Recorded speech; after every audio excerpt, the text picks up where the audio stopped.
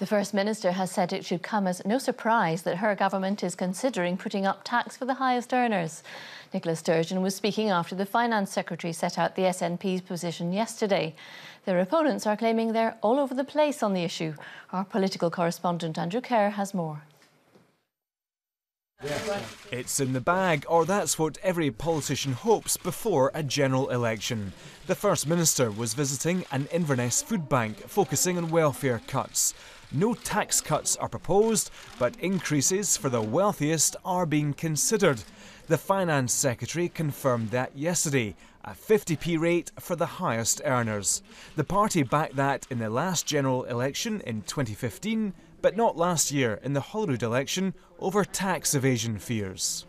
This should not come as any surprise. We fought the Scottish election on a manifesto that said we wouldn't introduce a 50 pence top rate tax because we had been advised that we could lose money because of the potential for tax avoidance. And although the Scottish Government controls income tax rates, we don't control the rules over tax avoidance. So we thought that was a potentially damaging thing to do. But we also said in our manifesto we would keep it under review, and we are keeping it under review.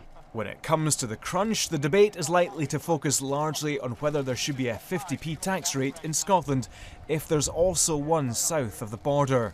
As the Liberal Democrats say plans for a second referendum should be put on the scrap heap, they hit out at the Nationalists.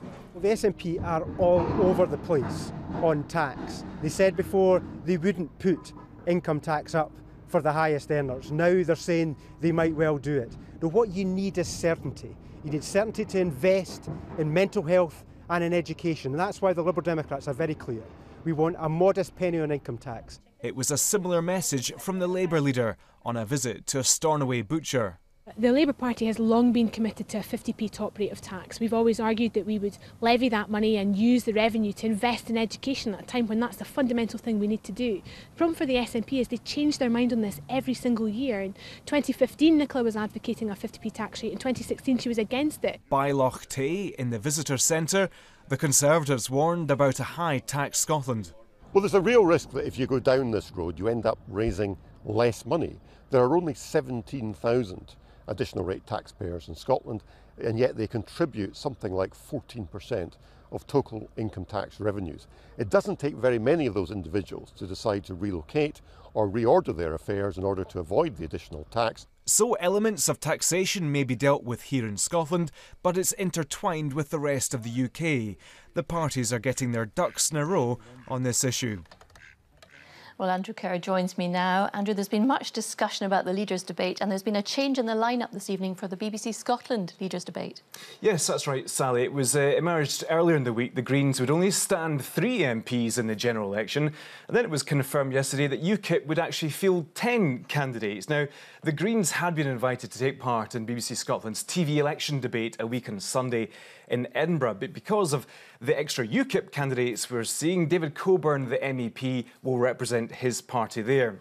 Now, the BBC states that appropriate level of party coverage takes into account several factors, including past and current electoral support, number of candidates, and a role in wider Scottish politics. I think that's the key point. The Greens uh, didn't want really to take part too much in this election to save money, to save resources. They did well in the Holyrood election last year, but the Conservatives are critical. They say the Greens are sitting out this election, and they called on them earlier in the week to withdraw from the TV election debates. Andrew, thanks. And BBC Scotland will be hosting a series of special Ask the Leader debates chaired by Glenn Campbell the week before the general election. If you'd like to put your questions to each of the party leaders, you can apply to be part of the audience by visiting our BBC Scotland News and Reporting Scotland pages.